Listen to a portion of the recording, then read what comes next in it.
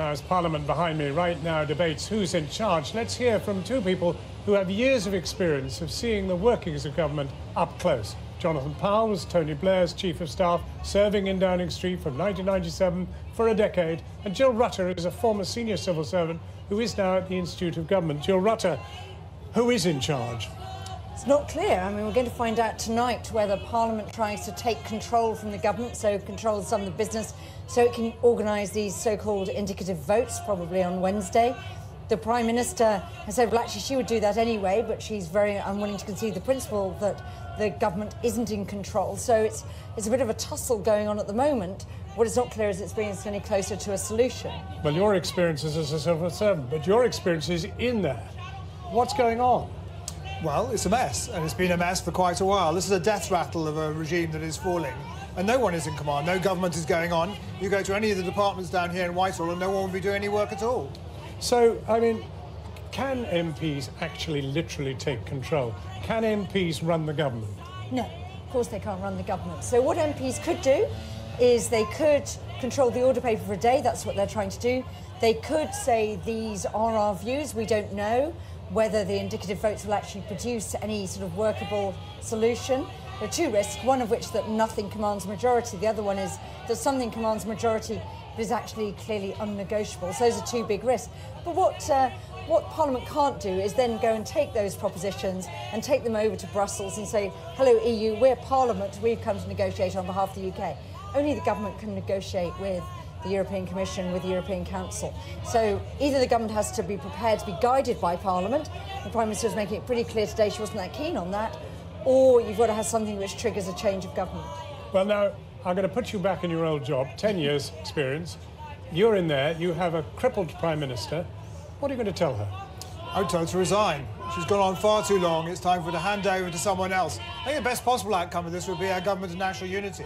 Actually bring people together in the middle, the moderate centre, who can take control in Parliament, who can agree on an option, and then with a government of that sort, you could actually negotiate, get a delay, and get a sensible outcome. Could that be achieved without a general election? So it could could be achieved because you know, under the Fixed Term Parliaments Act, we could have a no confidence vote. Uh, there's then two weeks to see whether there's an alternative government that could be formed. So somebody Jonathan approves of could emerge as a leader of that group. If that then that government can then win the confidence of the House two weeks later, then actually they could go on and govern. And so, you know, that's really Parliament taking control, which is substituting the current government with a government, if you like, that emerges from hmm. Parliament. But Tony Blair, for example, would never have given up control to Parliament, would he? Well, Parliament was always in control. Parliament was in control on the vote on Iraq, for example. He had to win in Parliament. That's why it's a very odd thing for the Prime Minister to start attacking Parliament. She only is there because she has a majority in Parliament. If she starts attacking it, she'll lose that majority. And that's what we're seeing now as she does lose control. What about something people don't seem to talk much about, revoking Article 50? That's clearly a possibility too. She clearly wouldn't want to do that, but if she handed over to someone like David Lidington, who could then ask for a long delay, that would be an option they could look at. I mean, in doing that, you could say, well, let's park this. Let us now really draw up a proper way of doing this, if we really want to. Would you favour a second referendum then? That's not a constitutional. Yeah, well, it's quite interesting because it's quite difficult to revoke Article 50. There's been a European Court judgment which says we can do that unilaterally, but only if it's with the intention of staying. So there might be some challenges if we were clearly just doing it to buy ourselves a bit of time and then wrote another letter saying, can we have another two-year period starting now?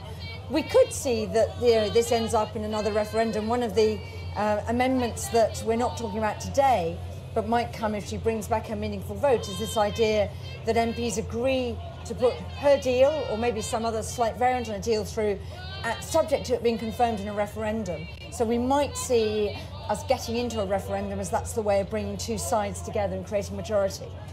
We've just seen young people who want to go into British politics and, and make it work. I mean, what chance have they got given? I mean, is the thing fatally flawed? Does there have to be a public inquiry? Who knows? Well, having been subject myself to about seven public inquiries, I'm quite in favour of these people being subject to one too. And I think there is a case for having a proper look at how this came about, because it is the most almighty mess, the biggest mess since the Second World War. And I'm actually very gratified to know that young people still want to go into politics despite what they've seen. And goodness knows we need a new generation taking over. Have a leader of the opposition about to be 70, someone in their 60s as Prime Minister. It needs to be people in their 30s and 40s taking control of this, a new sense of optimism and a new look at the future.